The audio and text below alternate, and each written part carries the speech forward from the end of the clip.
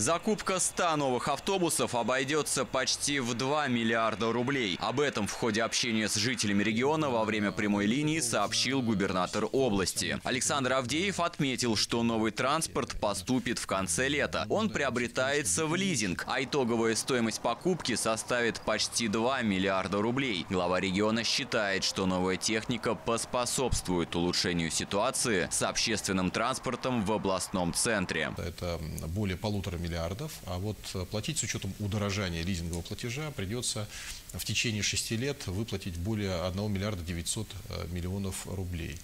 Это более 300, примерно 350 миллионов э, в год. Вот так там по разным годам, тем не менее 350.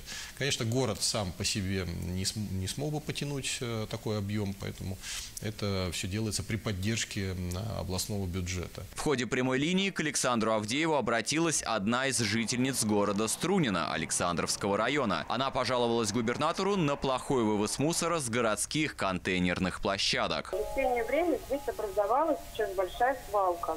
Администрация города разве не убирала ее и весной, и в мае. Но это всего лишь была, я так понимаю, разовая акция.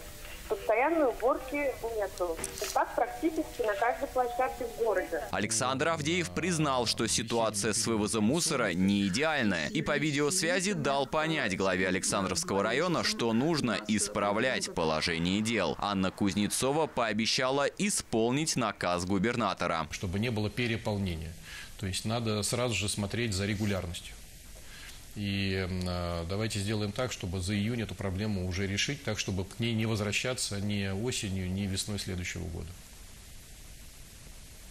Принято, да, будет исполнено. В ходе прямой линии Александр Авдеев затронул также тему ремонта федеральной трассы в районе Покрова. Сейчас ремонт М7 приостановлен. Губернатор пообещал вернуться к нему осенью после сдачи платной автомагистрали М12. Хотя часть работ все же проведут в ближайший месяц. Мы сейчас с дорожниками, с федеральными, федеральным дорожным агентством про, рассматриваем такой э, вариант, что может быть э, еще один участок, самый самый тяжелый, э, ну, кто часто ездит э, через Покров, э, значит, может легко угадать какой-то участок, сделать все-таки в июне. Сейчас сразу же настроиться с подрядчиком и руководством дороги так, чтобы сделать максимально короткие сроки не за 10 дней, а за 5, за 7 дней. Также Александр Авдеев затронул тему дольщиков ЖК Дуброва Парк-2 и дома на Северной 2А а во Владимире. Строительство домов остановилось, но как власти готовы помочь решить проблемы людей? Авдеев ответил, в данной ситуации необходимо ждать решения суда. Только с решением суда мы хоть как-то сможем начать, э, хоть как-то появятся права